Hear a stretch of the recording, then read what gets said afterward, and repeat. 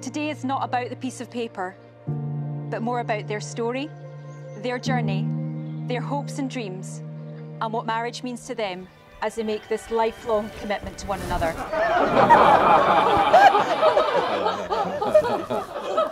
it's the gym. Sorry.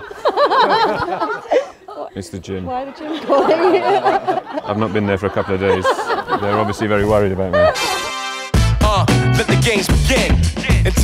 Anticipating the main event. Crowd deciding lights dim, and the show don't start until I step in. I display so proper, crowd and show rocker. What I got on my sleeve, on my drink, and the glow trotter. Others cool compared to me, they know nada. Shut them down quick, the showstopper. Lights,